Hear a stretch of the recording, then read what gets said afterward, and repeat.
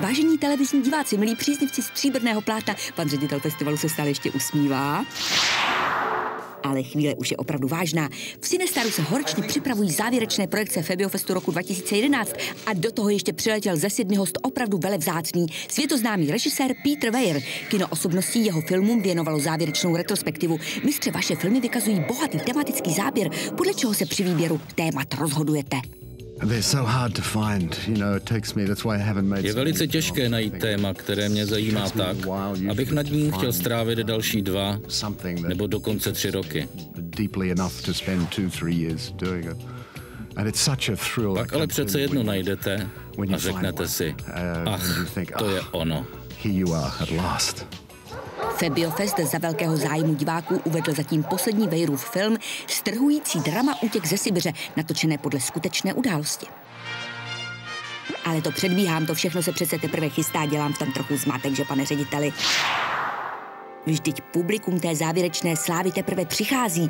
Po smíchovsky dlouhém a hollywoodsky červeně rozvinutém koberci tradiční ohňová show návštěvníky citlivě připravuje na velké prožitky dnešního večera. V zákulisí se ještě ladí poslední detaily. 33 člená porota konečně odtajnila svůj výrok a tak Ferofinič může ohlásit vítěze. Dagmar Havlová předává velkou cenu Febiofestu 2011 polskému režisérovi Marcinu Vronovi za film Křtiny. Peter Weir si do sedmi odváží Kristiána. Marcine, co říkáte ceně pro debitanty? Každé uznání, každá cena, kterou dostanu, mi dodává sebevědomí a víru, že práce, kterou dělám, ostatní lidi zajímá.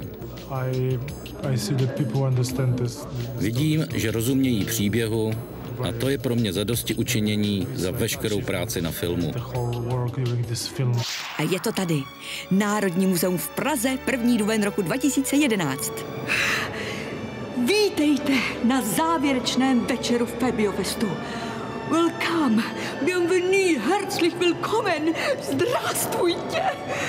To je ta krásná tečka filmového maratonu, který všechny členy organizačního týmu stál v tomto roce věruhodně sil, ale co je důležité, diváci to nepostřehli. Já jenom uh, můžu přát vám i sobě, aby se Fest neskončil, aby se nám povedlo najít pro příští rok a pro příští léta nějakou silnou oporu. Přejme to Feru Feničovi, ale přejme to hlavně všem filmovým fandům. A proč vlastně být tak skromní? Přejme to celé Praze a celé naší zemi. Tradiční festivalový dort nakrojil ředitel festivalu společně s Petrem Wejerem. A my se loučíme ze všech sálů Sinestáru a taky odsud z muzea. Febiofestu přejeme šťastnou cestu do všech regionů, kam právě teď míří. No a taky do všech dalších let.